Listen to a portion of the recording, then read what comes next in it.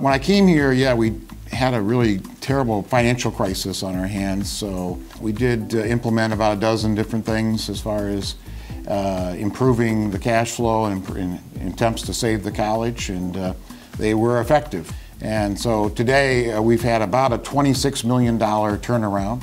Our cash flow went from almost zero to uh, this month uh, we have about $25 million in cash flow. Of course, that depends on enrollment. We've also established a uh, rainy day fund or a re reserves fund, and that has about $16 million in it now. We still need to uh, continue to work on uh, lots of programs and lots of infrastructure.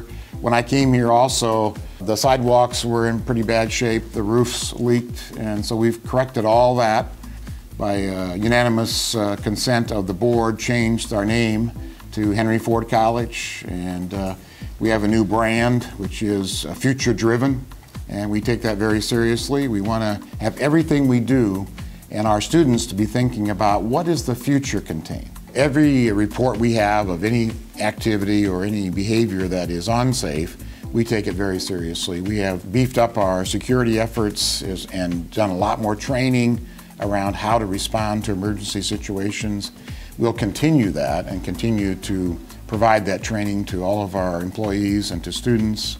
We have a pretty good group of uh, cameras all over campus as far as uh, making sure that uh, we can monitor parking lots and hallways and buildings. Several weeks ago, uh, ITT, uh, a national college that had about 40,000 students, uh, closed its doors on opening day of this first semester this fall. And so we immediately took action to let them know about our college and let them know about the services we offer here. I'm glad that uh, we did that. We've had hundreds and hundreds of phone calls from those uh, students that have been uh, uh left kind of high and dry as far as uh, this fall's education.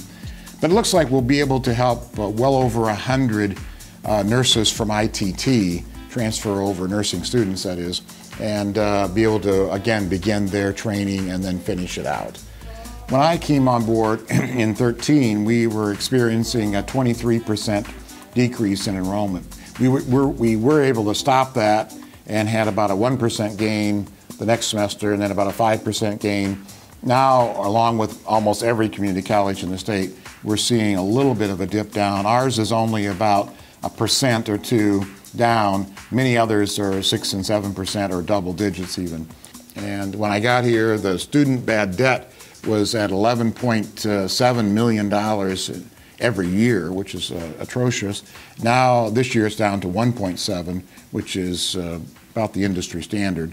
We are very vibrant. We have great quality and faculty and, and uh, uh staff, as well as the programs here.